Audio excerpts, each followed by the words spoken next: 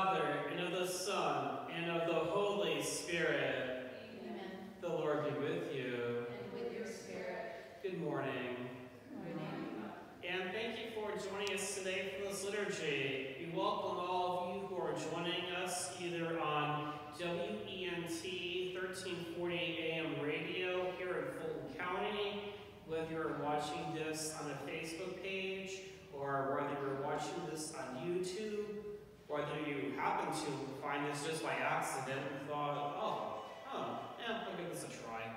In any event, we thank you for joining us today for this liturgy as we celebrate today the sixth Sunday of Easter. On an editorial note, um, I have to admit, last week I made a bit of a boo-boo in the homily. I mentioned that um, the, the Thursday that preceded this week was Ascension Thursday. When I looked at my calendar, I found out, oh, it's actually the upcoming Thursday. So let's go back and scratch that.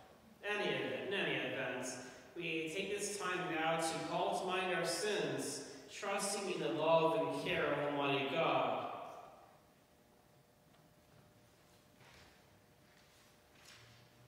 Lord Jesus, you have shown us the way to the Father. Lord, have mercy. Lord, have mercy. Lord Jesus, you've given us the consolation of the truth. Christ, have mercy. Christ, have mercy. Lord Jesus, you are the good shepherd leading us into everlasting life. Lord, have mercy. Lord, have mercy. May Almighty God have mercy on us, forgive us our sins, and bring us everlasting life. Amen. And together let us praise God's holy name with the Gloria.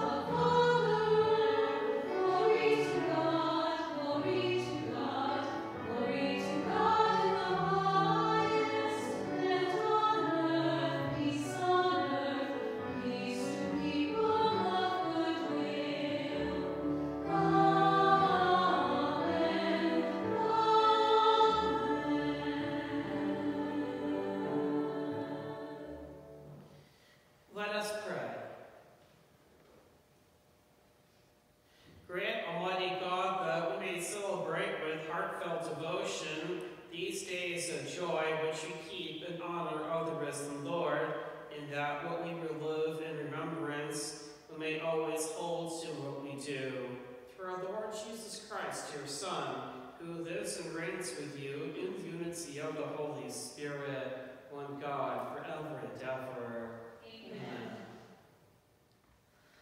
A reading from the Acts of the Apostles. Philip went down to the city of Samaria and proclaimed the Christ to them. With one accord, the crowds paid attention to what was said by Philip when they heard it and saw the signs he was doing.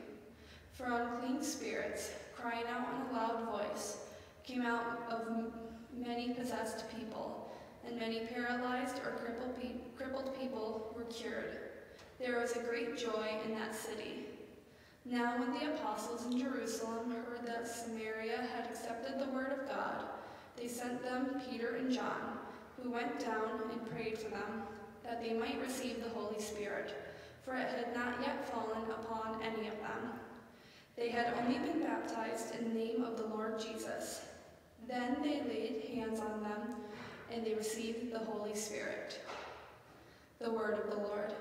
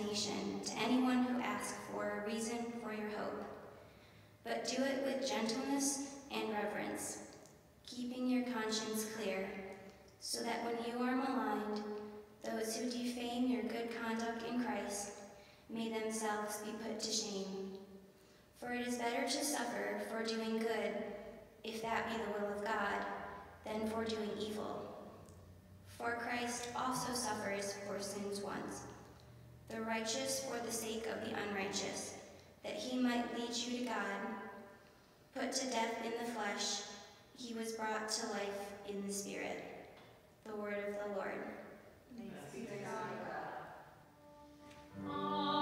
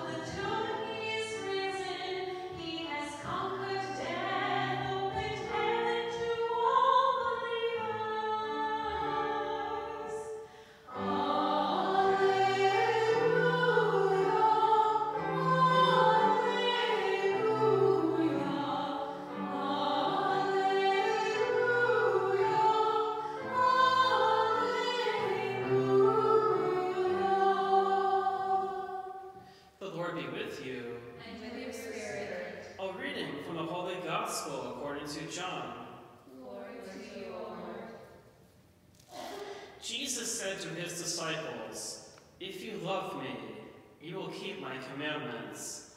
And I will ask the Father, and he will give you another advocate to be with you always, the Spirit of truth, whom the world cannot accept, because it neither sees nor knows him. But you know him, because he remains with you, and will be in you. I will not leave you orphans, I will come to see you. In a little while the world will no longer see me, but you will see me, because I live, and you will live. On that day you will realize that I am in my Father, and you are in me, and I in you. Whoever has my commandments and observes them is the one who loves me. And whoever loves me will be loved by my Father, and I will love him and reveal myself to him. The Gospel of the Lord. Praise to you, Lord Jesus Christ. Typically, in both the spring as well as in the fall uh, for our diocese here in Albany, as well as in other dioceses throughout the country, young people as well as, as well as older adults are prepared for the sacrament of confirmation. Confirmation completes um, the gift of the Holy Spirit that is given to those who are initiated into the church. What confirmation does is it gives the fullness of the Holy Spirit to these young people and to these adults, that they may be able to complete their initiation, that they may receive the gifts of the Holy Spirit, that they may do their part to help to build up the kingdom of God here on earth. For the time being, it may be true that we do have to delay confirmation until the fall because of the current pandemic. But we also see that the gifts of the Holy Spirit are alive in those who already have been confirmed, as well as those who have been baptized, because we see that the Holy Spirit leaves what is referred to as an indelible mark on the soul. So once a person has been claimed for Christ and baptized, that is a gift that cannot be taken away. It is a spiritual gift given to them. Certainly, as, as we take a look at uh, the old um, rite of baptism, there is a need to keep that flame of faith alive, so to speak. So, in other words, we see that both baptism and confirmation are sacraments that they are not repeated, and yet we also see that it is important to not take those gifts for granted, but instead to do what we can to keep that flame of faith alive in our hearts. Now, I mentioned the sacrament of confirmation as well as baptism because our first reading today, taken from the Acts of the Apostles, as well as our gospel reading for today, both have a flavor, or both have, I should say, they both highlight elements of confirmation and baptism. And so, in the Acts of the Apostles, we read about the crowd in Samaria who had received the word of God, and the apostles were overjoyed by this. And we also see, too, that while they were first baptized, the apostles went to go um, pray over them so they may receive the Holy Spirit. So, in other words, the church would look to that as a sign pointing towards confirmation. While may not be explicitly called that in the Apostles, we do see spiritual roots for confirmation in today's first reading. Likewise, it is also fair to say that there are roots for confirmation in today's gospel reading, taken from the gospel according to John. Last week, we also heard a portion of John chapter 14, and we heard, uh, we also heard another six verses from John chapter 14 just a few moments ago. Jesus was preparing his disciples for when he will return to the Father. And Ascension Thursday will be celebrated this upcoming Thursday. Not the Thursday before, like I mentioned in last week's homily, sorry, but this upcoming Thursday. And so uh, Jesus says, I will not leave you orphans, I will be sending another advocate to you, the Holy Spirit, God's presence here on earth. And think of what the Holy Spirit does. It transforms us. It takes us from our fear and it gives us new life with God. And as Jesus elaborates in our gospel reading for today, too, it helps to make that connection with God so much stronger. It truly does. Consider what Jesus said just a few moments ago in today's gospel reading. On that day, you will realize that I am in my Father, and you are in me, I in you. So, in other words, um, we have to recognize what a gift it is to have a God who longs to have this beautiful connection with us, this strong connection. We don't worship some impersonal God who simply made the world like a clockmaker, stands back and watches things unfold. It is also important to realize, too, that we have a God who is a God of love and mercy. So our God is intimately involved in our world, and our God is not a God um, who, wants to judge us in a harsh kind of way. We do not love a God or do not worship and tremble before a God who is looking for excuses to be able to strike us down, so to speak. Instead, we worship a God who is a God of love, a Trinitarian God who is a God who is a community of love. We see that the Father loves the Son, the Son loves the Father, and from that love proceeds the Holy Spirit. It may be true that God is just. God respects human free will, and God does not um, God does not force us to choose to receive that love. We understand that, and that is what suffering leads to. But that being said, for those who listen to the Word of God and keep it, as we heard in Scripture today, they find themselves um, in part of God's family. They are connected to our supernatural family, the communion of saints, the souls in heaven, those still waiting to go to heaven and purgatory, and us here too, the souls on earth. And so, even though we may not be able to celebrate confirmation in our diocese this spring, we do look forward to celebrating confirmation in the fall. We look forward to that. We look forward to our young people as well as the adults who have been initiated through RCIA to be able to uh, to be able to receive the fullness of the Holy Spirit, that they may um, rejoice in receiving the gifts of the Holy Spirit, and that they may do their part to build up the kingdom of God and to do their part to be part of a community, a community of love, as God has called us to be a part of a community of love. God bless you. And so together, let us profess our faith. I believe in one God, the Father Almighty, maker of heaven and earth, of all things visible and invisible. I believe in one Lord Jesus Christ, the only begotten Son of God, born of the Father before all ages, God from God, light from light, true God from true God, begotten not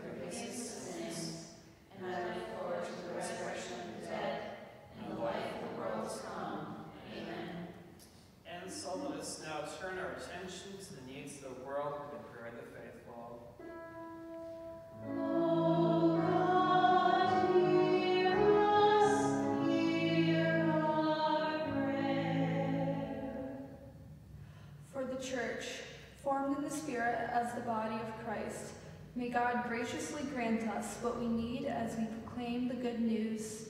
Let us sing to the Lord.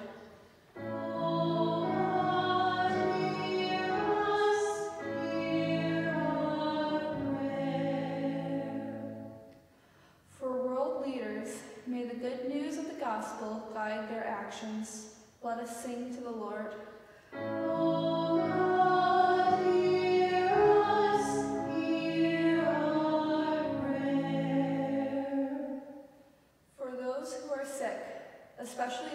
Who feel alone in their struggle, may they experience and comfort, may they experience the comfort of our loving God.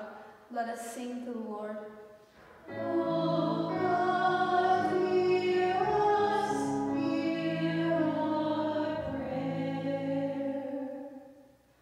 those in our community who were baptized into new life at Easter, may the Holy Spirit continue to nourish their faith and spiritual gifts. Let us pray to the Lord. O God, hear us, hear our prayer. For those who have died, may they find peace and eternal joy in the Lord. Let us sing to the Lord.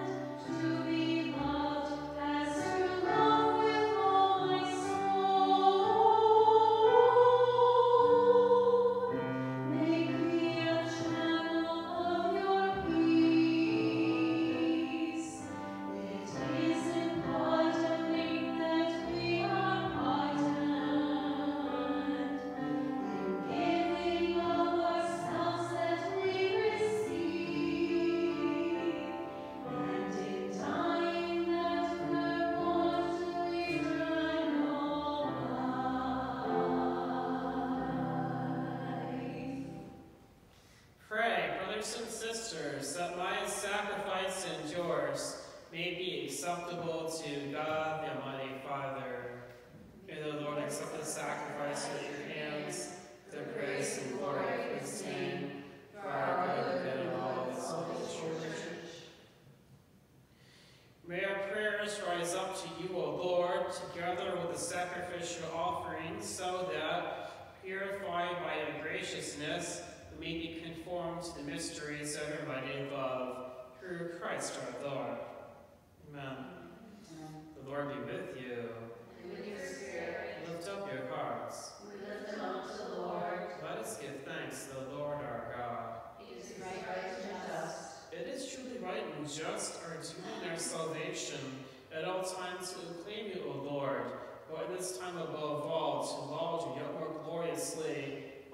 Christ our Passover has been sacrificed, for he is the true Lamb who has taken away the sins of the world. By dying he has destroyed our death, and by rising restored our life.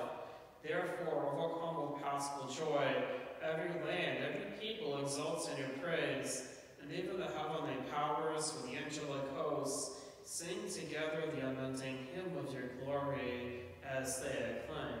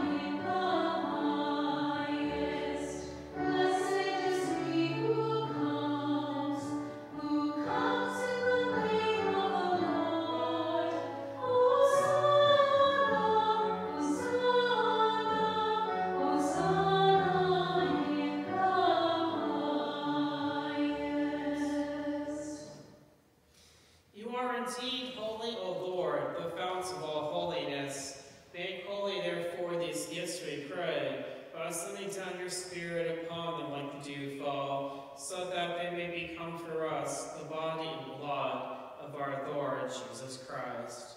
At the time he was betrayed and entered willingly into his passion, he took bread and giving thanks, broke it and gave it to his disciples, saying, Take this, all of you, indeed of it, for this is my body, which will be given up for you.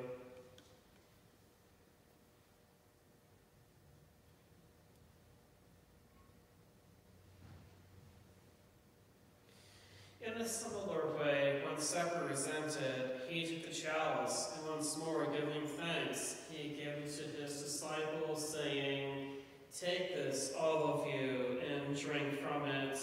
For this is the chalice of my blood, the blood of the new and eternal covenant, which we pour poured out for you and for many for the forgiveness of sins. Do this in memory of me.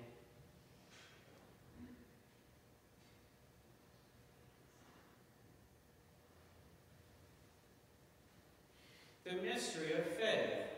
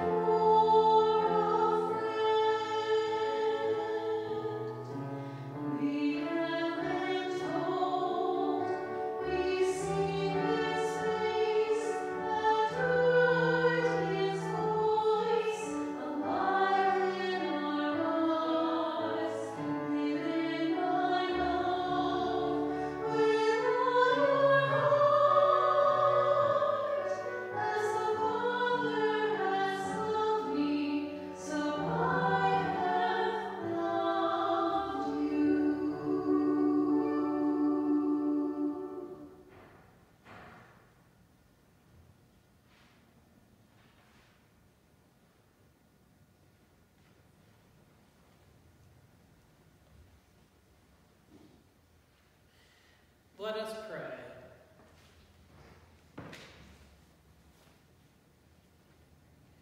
Almighty ever living God, who restore us to eternal life in the resurrection of Christ, increase in us, we pray, the fruits of this paschal sacrament, and pour into our hearts the strength of the saving food. Through Christ our Lord. Amen. Again, thank you for joining us virtually. Thank you for joining us either on Facebook, on YouTube, on WENT 1340 AM. And again, whether you look for this Mass intentionally or happen to stumble across it, no matter what the case might be, we're very glad you joined us. Please bow your heads and pray for God's blessing.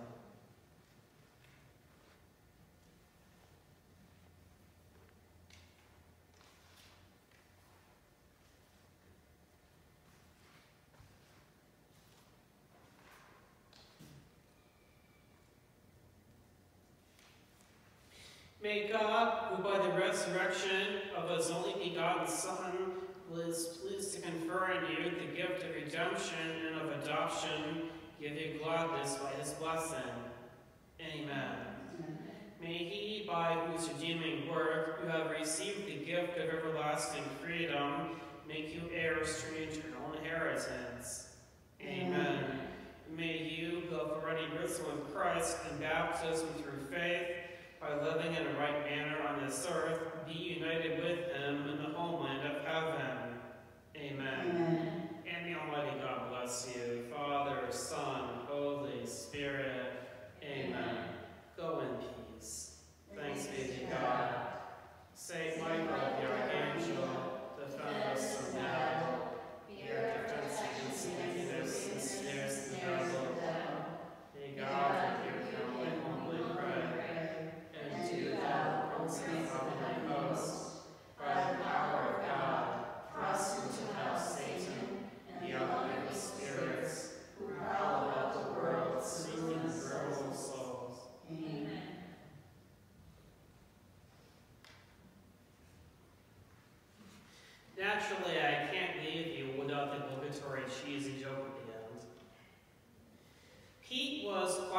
praying alone in church when he suddenly heard a voice.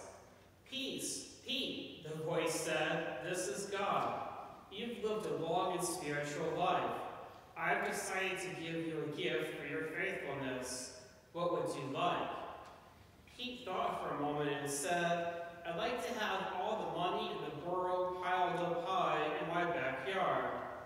That seems kind of greedy coming from someone like you, God told him, You're right, said Pete. It is greedy, and that's not like me. How about this? I've been married for 50 years, and I've never been able to understand my wife. For my gift, I like to understand her just once. God replied, Are tens and twenties okay?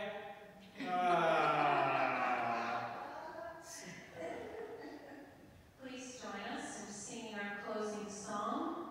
422 in the Heritage Missal, led.